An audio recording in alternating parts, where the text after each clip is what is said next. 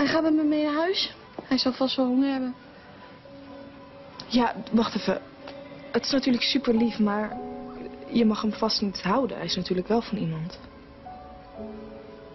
Ja, dat, dat snap ik ook wel. We moeten even de dierenkwijtlijn Ja. bellen. Of heeft hij een, een penning aan zijn bandje met een nummer? Nee, ook geen naam. Ik bel wel even. Nou, ik ga met hem eh, naar huis. Even kijken of Dolly hem een beetje leuk vindt. Ja, is goed. Ik kom ook zo, hè? Ja. Doei. Doei.